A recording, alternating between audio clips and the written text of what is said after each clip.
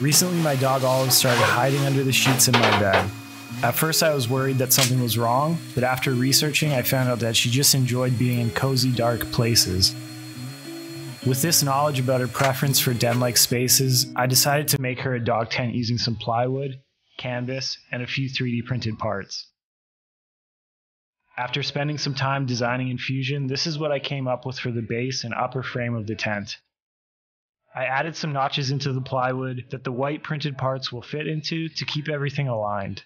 I've started using Fusion 360 for my CNC tool pathing so I can integrate 3D prints more effectively. Previously, I would design in Fusion and then export DXF files to VCarve, which I was more familiar with. But keeping everything within the same program has fixed many of my issues I used to have during the import and export process due to things being lost or skewed after cutting the plywood base and legs on the Ooznest WorkBee CNC, I gave it a light sanding to remove the burrs created from the two flute upcut end mill I used.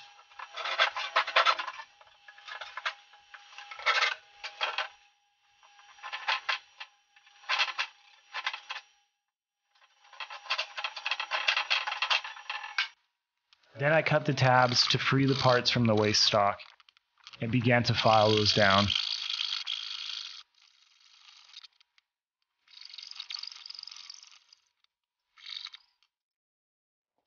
After a quick quality check from my supervisor, What's that? filing continued.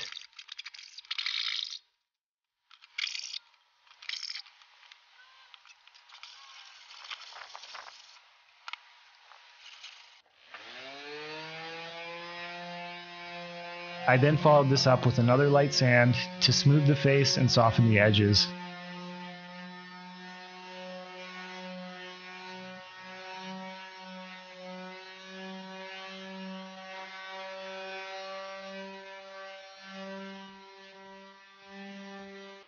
I used my outside hammer to try and hammer the legs in, but struggled to find the right angle to hit them.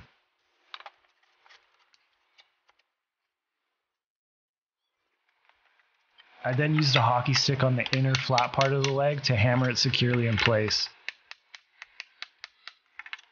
I used a pretty tight tolerance when securing the legs, so I didn't feel the need to use wood glue as I had initially intended. After the base was assembled, I was quite surprised at the strength of the half inch plywood.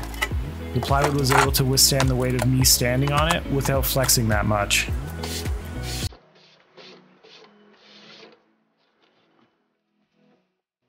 Now to cut my 8 foot dowel into three pieces.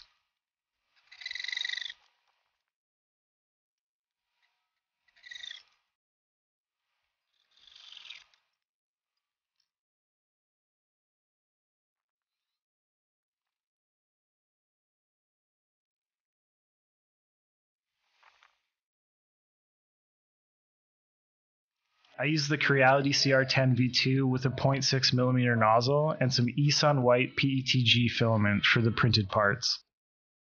I've been using this eSUN E-Box filament dryer and it really shows in the surface finish of these parts. The larger nozzle and 0.3 millimeter layer height coupled with the slight over extrusion ensured that these prints would be strong and durable while only taking a few hours to print. Time for assembly.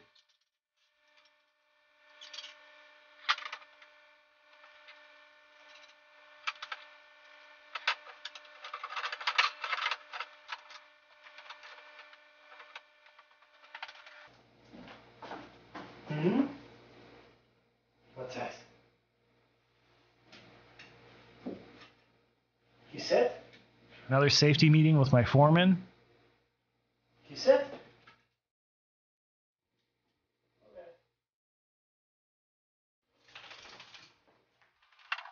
Once the dowels were inserted, I applied super glue to the base and some activator spray to the printed parts, just to keep them from moving around while stretching the canvas over the frame.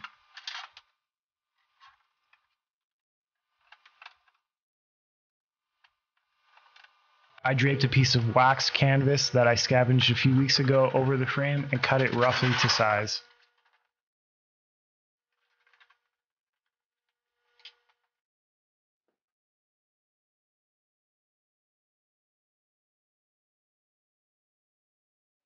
I then pinned all the fabric in place with the help of my coworker. Hmm? Okay. Thank you.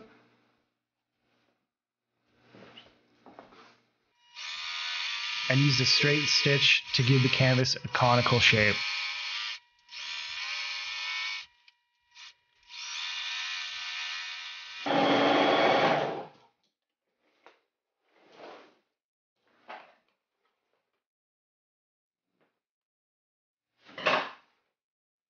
After placing the fabric back on the frame, I was able to see what excess material needed to be removed around the base.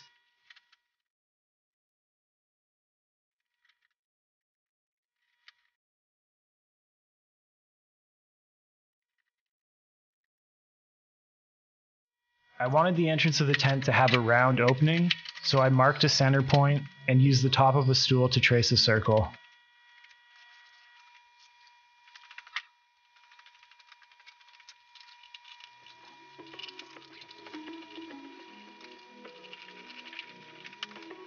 After cutting the circle out, I then sewed the edge of the opening to keep it from fraying over time.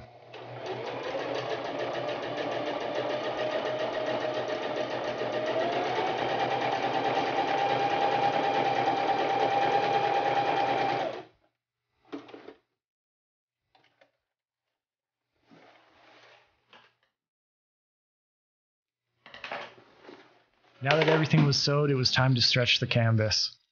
I placed it over the tent frame and began to staple it to the base of the tent.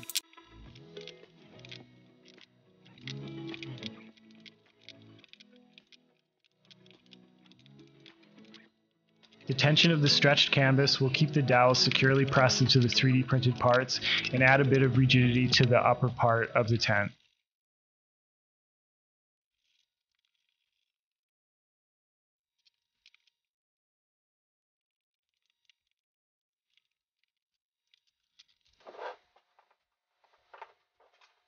After stuffing one of Olive's favorite blankets in the tent, it was time for the final inspection.